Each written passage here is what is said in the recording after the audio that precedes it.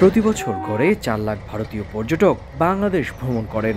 এর মধ্যে স্থলপথেই বাংলাদেশে পা রাখেন সিংহভাগ ভারতীয় নাগরিক। আর সবচেয়ে বেশি সংখ্যক ভারতীয় পর্যটক পেট্রাপোল, বেনাপোল সীমান্ত দিয়েই প্রবেশ করেন বাংলাদেশে।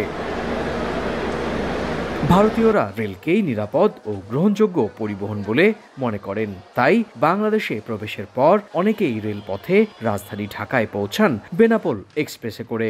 এবার সেই বেনাপোল এক্সপ্রেসে নাশকতার ঘটনায় চরম উদ্বেগ প্রকাশ করলেন ভারতীয় পর্যটকরা।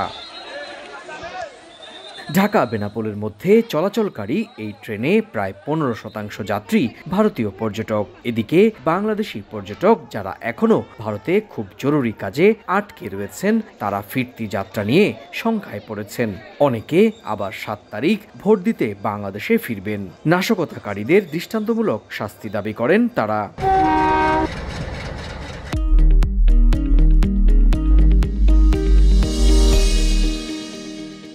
দু হাজার উনিশ সালে সতেরো জুলাই বেনাপোল এক্সপ্রেস চালু হয়। ভারত বাংলাদেশের মধ্যে চলাচলকারী পর্যটকদের কথা মাথায় রেখেই বাংলাদেশ রেল এই উদ্যোগ নেয়। দুই দেশের পর্যটকদের সংযোগে গুরুত্বপূর্ণ ভূমিকা পালন করে আসছে এই ট্রেনটি। সুব্রত আচার্য, সময় সংবাদ, পশ্চিমবঙ্গ, ভারত।